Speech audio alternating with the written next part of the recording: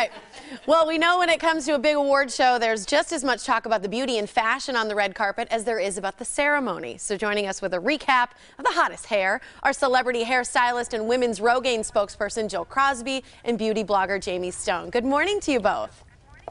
Good morning. Good morning. Thanks for being here I'm with so us. Relaxed, so let's talk a little bit about some of the hottest hair trends that we saw last Sunday because I know that's one of the biggest things that people talk about when it comes to styling.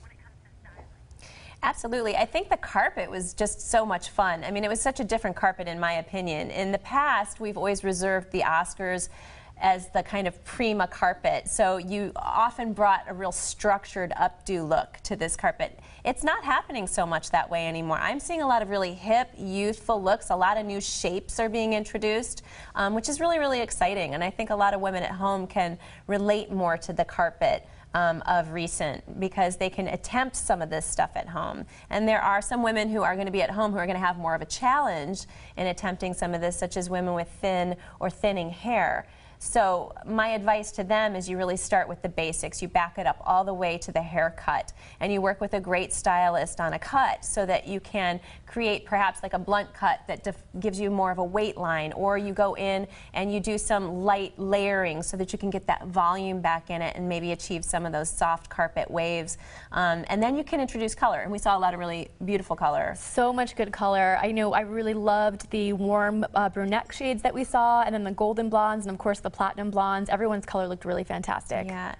And one of the advantages to color is that it really expands the cuticle. So color can expand the cuticle. You're also going to be working with products that can help kind of add volume right away. But then for those women with thinning hair, we need to talk about treatment. And Women's Rogaine Foam is really the first once a day 5% minoxidil on the market that has been FDA approved and is proven to regrow hair. So for any carpet look, um, starting there where you can actually regrow the hair is what's most important. And Jamie has that story.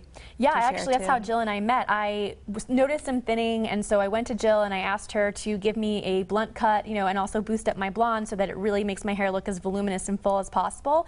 She also recommended that I start using Women's Rogaine foam, uh, so I've now been using it over a year, and I've seen some really amazing results. You know, I started seeing it probably around three months, and other people have noticed it. It's just, it's, it's been amazing for me, and I'm really excited to, you know, kind of share my journey through using it. Yeah, and incorporating the products and the cuts and the colors along with a treatment program is really something that's going to be a complete package and a total advantage to women with thinner thinning hair. And if you want more information, you can find it at womensrogaine.com.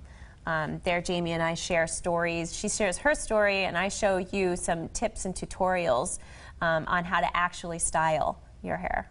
I love it. And I'm really, uh, really appreciative of the fact that you, you spoke about thinning hair for women, the products, the styles. That blunt cut, I know, is something that's so important when you've got thinner hair. I think those are really great takeaways. Thanks so much for joining us, ladies.